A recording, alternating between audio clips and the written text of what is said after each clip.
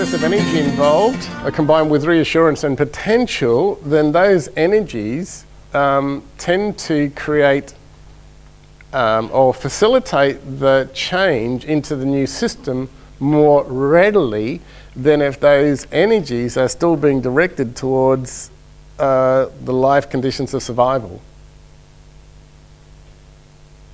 So if you're so busy, you know, working, there's no time to make money.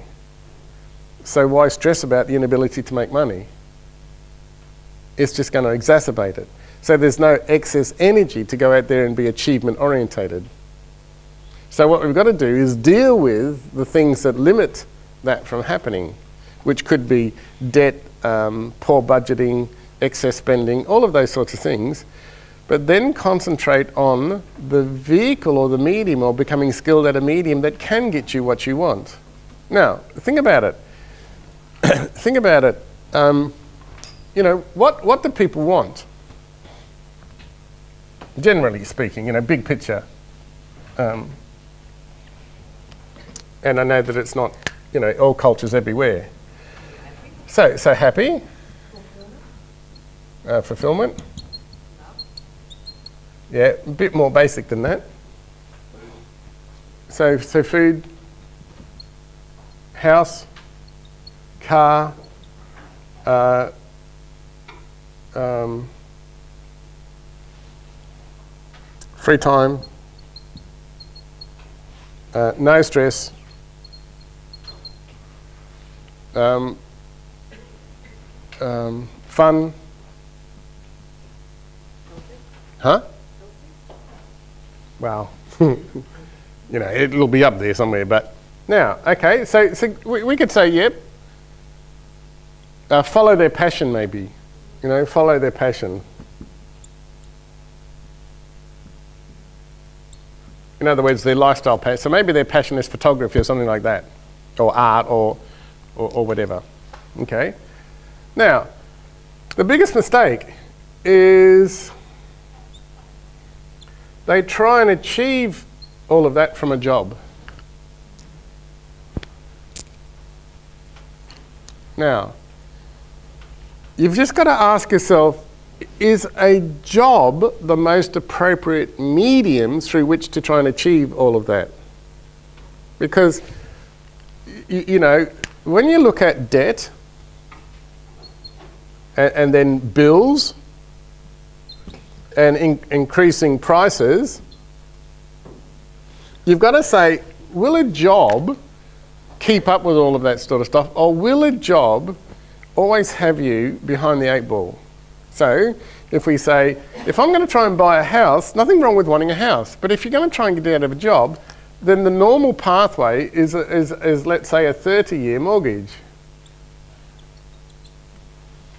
And so now you spend 30 years in debt, debt driven sameness. or debt driven security or debt driven insecurity. And, and you don't have time and space to follow your passions and do all of those things. So then you start to say, well, okay, so hang on, I'm not happy, I'm not fulfilled, but I'm doing the right things. I've bought a house and I'm, I've got myself a big fat mortgage and, and I've got a car on high credit and blah, blah, blah, blah, blah. Okay? So all that will ever get you is basically decades of sameness and decades of compromise and decades of settling for less. The fault is in the thinking and then the medium that that thinking excites. Now that's the conditioned process, isn't it? And so it's got to be the right way because everybody is doing it. It's the enculturated process. But you've just got to think about hang on, is this the most appropriate medium for this? it is the most appropriate medium for the maintenance of middle class and lower class. It is the most appropriate medium. But if it was the most appropriate medium for this, then don't you think that that would actually be the achievement model? But it's not. The achievement model isn't actually here. The achievement model is somewhere else.